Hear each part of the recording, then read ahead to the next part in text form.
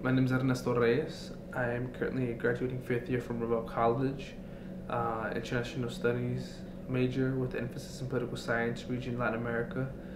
Since my first year, I got involved with uh, the Cross Cultural Center. That was my first actual entry point within UCSD. Uh, from there, I got involved in different spaces like MECHA, which stands for Movimiento Estudiantil Chicano Chicana de Aztlán, uh, one of the core organizations of SAC, which is the Student Affirmative Action Committee. It's a kind of an umbrella organization um, that, oddly enough, I, I, was the chair for for this last year.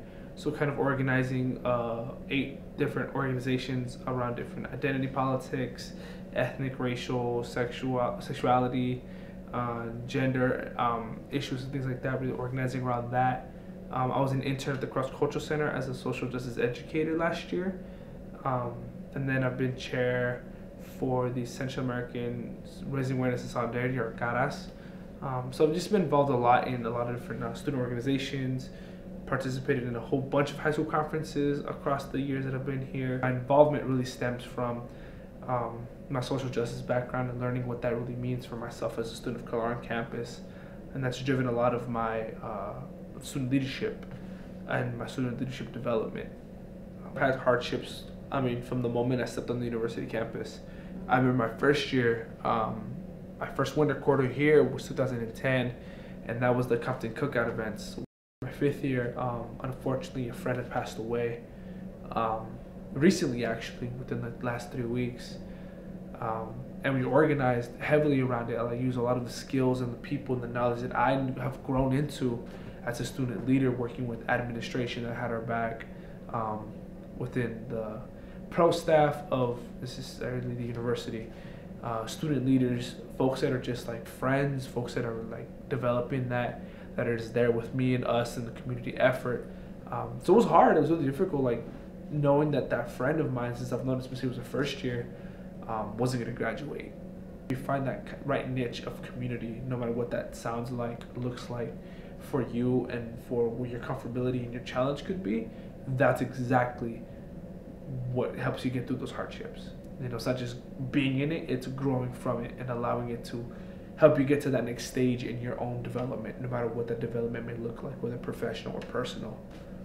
I think being a student is a giant safety net at the end of the day. I think it's a space for us to know where I was a year ago, where I'm going to be the next year, you know, with familiarity. But now that I'm not going to be a student anymore, at least for the foreseeable future, um, until I start applying for grad school and all these different things that are kind of beyond the moment right now, it can be a little scary. It can be a little daunting. It can be a little um, overwhelming to try to feel secure in an unsecure place, to feel validated in the work that you've done across the university space, um, and prior to that, and then try to have that find a space or a material manifestation in the real world. I think it could be a little scary, but um, it's an exciting feeling nonetheless.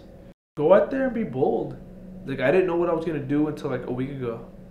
you know, like I just got the confirmation a week ago that I was gonna be in San Jose, um, and I still don't have everything figured out. I have to find a living situation. I still have to find out who I'm gonna live with. So like a lot of different things that even though I have something figured out, I still have a lot to process with internally because that's like you know it's a whole new area for me. I've never lived up in the Bay. I've visited, but visiting and living are very different. Um, so for my seniors who don't necessarily have things figured out, I think it's like take advantage of that. You know, be okay with the ambiguity. Go and find out new things and be bold and be unafraid to challenge yourself and try new things that you may necessarily not have the space to do when you do kind of settle into a more professional uh, job space. Practice of being enough is the hard part. I think it really allowed me to envision what I could be.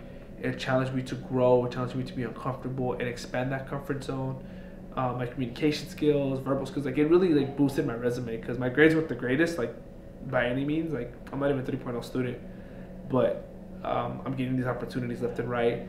Um, have such have so much more experience that, that an inside classroom could teach me.